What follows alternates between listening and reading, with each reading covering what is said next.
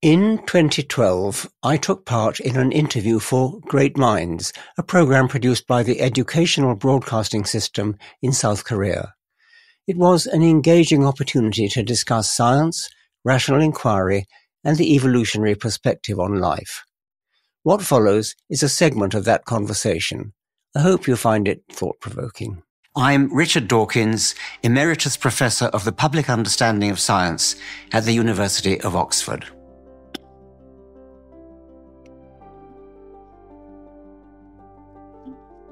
DNA is often described in textbooks as a blueprint. I think this is very misleading. A blueprint is something that an architect designs for a house or an engineer designs for a car. And the essence of a blueprint is that it's reversible. If you have a house, you can reconstruct the blueprint just by taking measurements of every room and then drawing them out. And you have an exact replica of the original blueprint of the house, similarly with a car. The blueprint is reversible.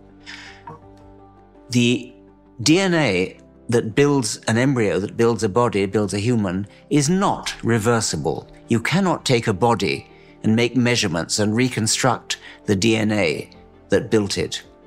DNA is something more like a recipe, a cookery recipe, or a computer program. If you have a cake, you have a recipe for a cake and you make the cake, and it's fine. You follow the recipe and the cake comes out of the oven.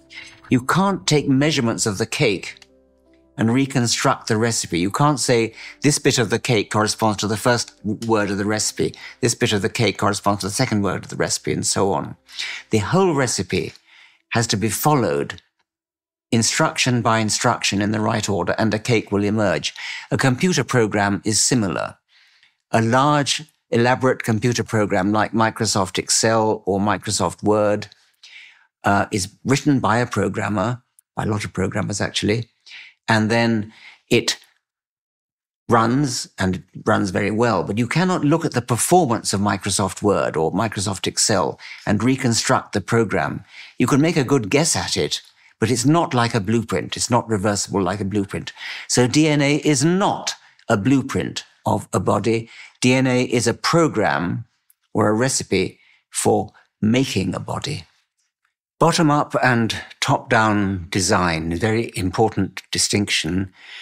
An architect designs a house. That's top down design. The architect conceives it and draws it out. And, and then the masons, the builders, the carpenters, the plumbers all follow the, the design that the architect drew out. That's top-down design. Bottom-up design is a little bit hard to understand because we as humans are not very familiar with it. There's an illustration in Outgrowing God of a termite mound, which looks extremely like a famous church in Barcelona in Spain uh, by the architect Gaudi. And um, they look extremely alike, but the architect design is top down. The termite mound, which looks very similar, is very far from top down. It's bottom up. What it means is that each individual termite is following little local rules, little local rules which have nothing to do with the grand design of the whole termite mound. Instead, each termite, each individual worker termite is following little local rules like if you see a, a, a little, hound a little pile of mud, stick another dollop of mud on the top of it.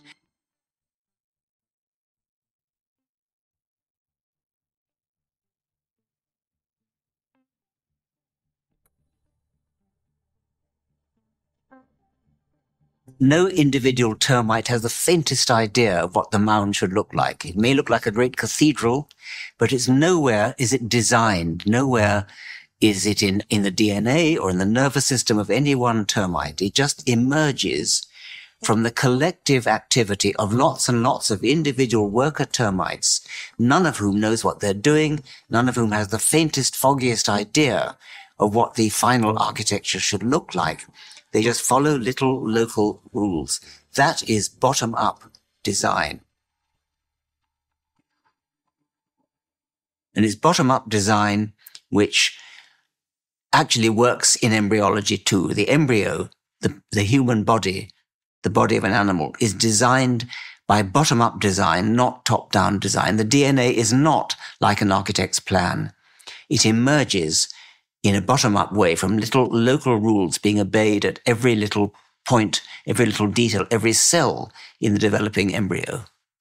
Not far from Oxford is Otmoor, where every winter is a spectacular display of starlings, so-called murmuration of starlings. Flocks of starlings, thousands, tens of thousands strong, flying about in beautiful movements. They look like a single amoeba. It looks as though the entire flock is one organism. They wheel and turn. They inter- interact with each other. They go through each other in a beautiful way as though they were a single organism, but they're not. They're tens of thousands of individual starlings.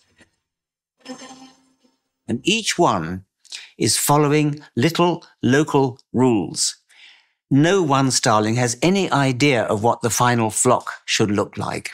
They're each following little local rules like keep your neighbors at a certain angle, certain angles like that. If they all do that, then what emerges is this superb aerial display. There is no choreographer. There is no conductor of this orchestra. It just emerges in a bottom up fashion. We know this because it's been subjected to brilliant computer simulation. Uh, a computer programmer called Craig Reynolds wrote a program called Boids, a kind of corruption of the word birds. And what he did was to program in some detail the behavior of an individual boid, an individual bird in the, in the computer, in great detail. Never did he program the entire flock. He only programmed the behavior of an individual boid. Then he, as it were, cloned them up. He made hundreds of boids, all the same, or maybe different, differing in minor details, and then, so to speak, released them in the computer simultaneously. So the whole coordinated movement comes about not through programming of the flock, not through top-down design of the flock, but through bottom-up design of the individual bird. And then what emerges is the behavior of the flock. Embryology works in a rather similar way to the starling flocks, but it's obviously much more complicated. Uh, what happens is that the behavior of each cell is influenced by the DNA in the, the, the same DNA in all the cells, and different parts of the DNA, different genes are turned on in different cells. Now, in a rather similar way to the Boids program of Craig Reynolds, another very clever uh, mathematician called George Oster wrote a program to simulate parts of embryology. And what he did was to simulate the behavior of one cell. And quite a lot is known about the behavior of cells. So he was able to put that into the behavior of one cell, rather like Reynolds into the behavior of one starling. And then he cloned up the cells and made hundreds of them and then watched how they behaved in interaction with each other. And what happened was that they behaved in the same kind of way as layers of cells do in the development of the embryo. In the development of the embryo, you have, um, first of all, it's a single cell, as you know, and then it divides in two, and then divides into four, and then eight, etc., 16, 32. And then it forms a ball with the same size as the original egg, which is called the blastula, and then the blastula invaginates, a hole appears and it, and it forms a little invagination in the, in the ball. That's called gastrulation. Produces a thing called a gastrula. And then uh, by a similar process, neurulation produces the nerve tube. It formed sheets of cells, and these sheets of cells then did the same invagination trick of neurulation, exactly like an embryo. It's only a very crude example of something like what goes on in a real embryo, but it illustrates the bottom up principle of the development of the embryo. The behavior of each cell is programmed by the DNA. And then when the cells get together, they behave in such a way as to produce an embryo. In different parts of the body, of course, different tissues are formed. So liver cells are different from kidney cells, different from muscle cells, different from nerve cells, and so on. And that's because different parts of the DNA, different genes are turned on in different parts of the body. Now, the way in which uh, the DNA works is by programming the development of proteins. And as you know, the genetic code is a, a code whereby triplets of DNA uh, code for one amino acid, and the amino acids then the, the chain of DNA in the in the in the genome um, forms chains of of um, amino acids which make proteins. Now, so we have a, a chain of, of amino acids which is a which is a protein.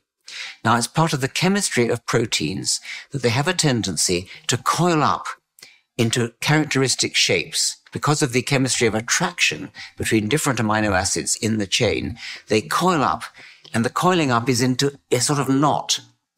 And the knot is determined by the sequence of amino acids. So it forms a complicated three-dimensional knot, a complicated structure, a three-dimensional structure. Now that three-dimensional structure of the protein determines its catalytic properties. It's an enzyme, a catalyst. And you know that what a catalyst is, is a chemical substance which speeds up other chemical reactions without actually taking part in them itself. So you could think of the cell as being potentially a, a great big vat of chemicals in which any of them could re- react with each other, but they don't unless there's a particular enzyme present. So they're all washing, sloshing around in the cell and, and, and what determines whether, what a particular reaction happens in a particular cell is what enzymes are present. And that's determined by what DNA, what, what genes are, are turned on. So it's the shape, it's the three dimensional shape of the protein which determines its enzymic properties. It's literally the shape. It's, it's like a keyhole. The shape is like a keyhole which acts as a facilitator of a particular chemical reaction.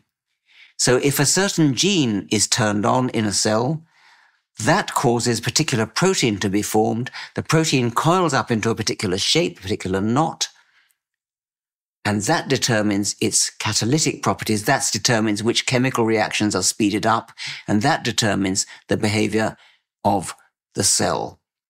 The behavior of the cell determines how the cell interacts with all the other cells in a way that I just described with George Oster's simulation. So it's a fairly long chain of causation from DNA to embryology, but every step of the way is now being understood.